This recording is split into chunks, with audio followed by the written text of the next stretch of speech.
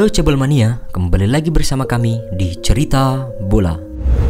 Hasil pertandingan Liga Champions semalam. Pertandingan Liga Champions semalam menampilkan raihan manis untuk sejumlah klub. Di grup A, ada duel seru yang mempertemukan PSG kontra RB Leipzig. Drama 4 gol tersaji dalam laga tersebut. PSG yang harus bermain tanpa Lionel Messi gagal mendulang kemenangan usai bermain imbang 2-2. Sementara itu di grup yang sama, Manchester City sukses meraih kemenangan 4-1 atas klub Brugge. Beralih ke grup B, ada duel yang tak kalah panas yang mempertemukan Liverpool versus Atletico Madrid. Laga ini memastikan The Reds lolos ke babak 16 besar usai menang dengan skor 2-0. Kepastian lolos dari babak fase grup juga diperoleh oleh Ajax Amsterdam setelah membungkam Dortmund dengan skor 3-1. Dan berikut adalah hasil lengkap pertandingan Liga Champions semalam.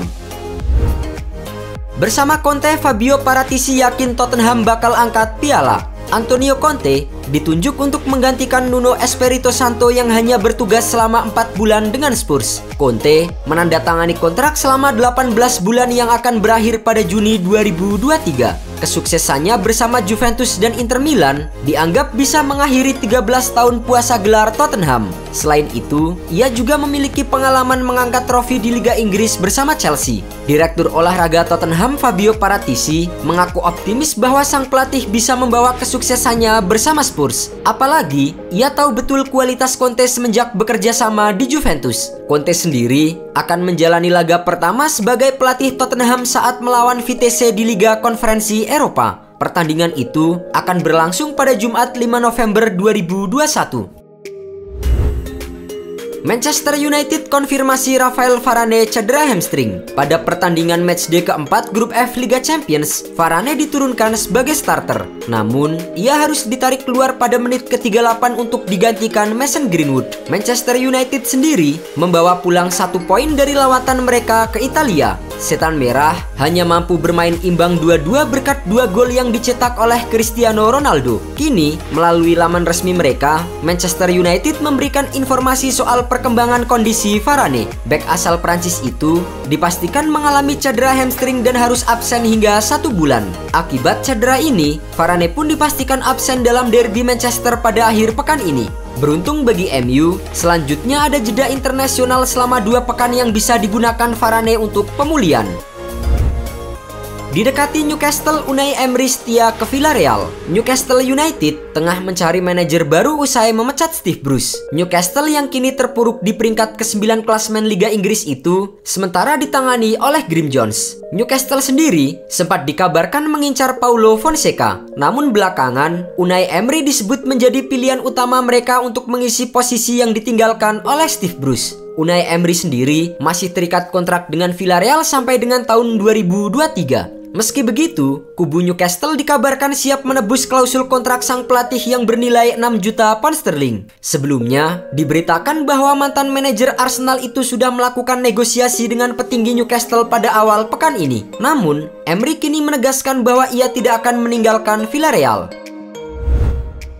Jose Mourinho minta Roma rekrut dua pemain Real Madrid. AS Roma tampil mengecewakan dalam 10 laga terakhirnya di semua kompetisi. Giallo Rossi hanya meraih 4 kemenangan dan 5 kali kekalahan. Performa Roma di Liga Italia juga terus menurun. Mereka saat ini duduk di posisi keempat dengan raihan 19 poin. Menurut Corriere dello Sport, Mourinho sejauh ini tidak puas dengan pemain-pemain yang datang di musim panas kecuali kiper Rui Patricio. Kini, Mourinho disebut-sebut ingin Dani Ceballos dan Nacho Fernandes untuk memperkuat lini tengah dan pertahanan. Selain dua pemain Madrid itu, Mourinho juga dikabarkan membidik Ruben Loftus-Cheek serta Harry Wings.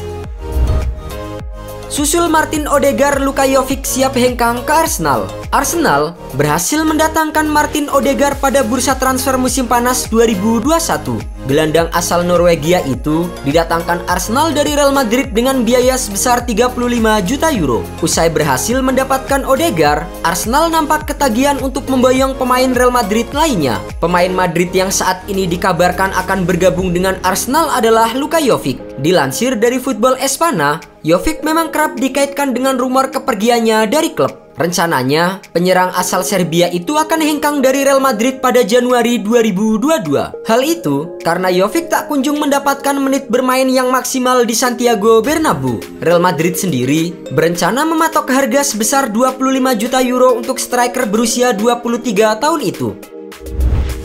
Direktur Barcelona berangkat ke Qatar untuk muluskan transfer Safi. Sebelumnya, diberitakan bahwa Alsat tidak senang dengan kabar Safi yang akan segera bergabung dengan Barcelona. Di sisi lain, Barcelona dilaporkan tak pernah mengontak Alsat untuk bernegosiasi perihal Safi. Kini, Barcelona akhirnya memilih bergerak dan berdiskusi langsung dengan pihak Alsat. Dilaporkan oleh Dario Sport, dua petinggi Barcelona terlihat di bandara untuk berangkat ke Qatar pada Rabu waktu setempat. Mereka rencananya akan bertemu dengan pemilik Alsat Mohamed bin Hamad seusai laga kontra Al Duhail. Negosiasi ini diharapkan bisa mengunci kesepakatan untuk membawa pulang Safi ke Barcelona. Jika semuanya berjalan lancar, Safi akan diperkenalkan sebagai pelatih baru pada awal pekan depan. Safi disebut akan menerima kontrak hingga Juni 2024 dengan nilai gaji yang lebih rendah dari Alsat. Liverpool hidupkan minat untuk Marco Asensio. Marco Asensio merupakan sosok rising star di skuad Real Madrid. Ia menunjukkan penampilan yang menjanjikan di sektor sayap Los Blancos. Jurgen Klopp pun beberapa kali dilaporkan terpikat dengan aksi sang winger. Namun hingga saat ini, ia masih gagal memboyong Asensio ke Anfield. Dilansir dari El Nacional, Liverpool masih penasaran dengan winger 25 tahun tersebut. Mereka akan mencoba mendatangkannya di tahun 2022 nanti. Laporan itu mengklaim bahwa kesempatan Liverpool untuk menggait Marco Asensio juga terbilang cukup besar. Sebab ia dikabarkan kurang bahagia usai kalah bersaing dengan Rodrigo Goes di bawah asuhan Carlo Ancelotti. Sementara itu, kontrak Asensio di Real Madrid sendiri akan habis pada tahun 2023 mendatang. Sang winger pun dilaporkan bisa direkrut dengan biaya sekitar 40 juta euro saja. Tolak Manchester City, Dusan Vlahovic hanya ingin gabung Juventus. Dusan Vlahovic adalah salah satu pemain bintang di Serie A selama beberapa tahun terakhir. Sejak musim lalu, striker berusia 21 tahun itu menunjukkan ketajaman yang sangat bagus di lini serang Fiorentina. Performa apik striker timnas Serbia itu sudah terdengar oleh Manchester City juara bertahan Liga Inggris itu tertarik menjadikan Vlahovic sebagai pengganti Sergio Aguero di lini serang tim. Namun, dilansir oleh Tuttosport bahwa Manchester City bakal gigit jari dalam perburuan Vlahovic. Pasalnya, sang striker lebih tertarik pindah ke Juventus karena ia masih nyaman dengan sepak bola Italia. Menurut laporan yang sama, Juventus juga sangat tertarik untuk mengamankan jasa Vlahovic di tahun 2022. Sementara itu, Fiorentina kabarnya telah mematok harga sebesar 60 juta euro untuk sang striker. Antonio Conte ingin angkut Nicolo Barella ke Tottenham. Antonio Conte baru saja diresmikan sebagai pelatih baru Tottenham. Ia mengisi posisi yang sebelumnya ditempati oleh Nuno Espirito Santo. Conte sendiri bersedia menukangi Spurs setelah mendapatkan bujukan dari Fabio Paratici. Tentu saja, Antonio Conte saat ini akan berusaha membuat skuad Tottenham menjadi lebih kuat dan lebih baik. Salah satu caranya adalah dengan mendatangkan amunisi baru di bursa transfer.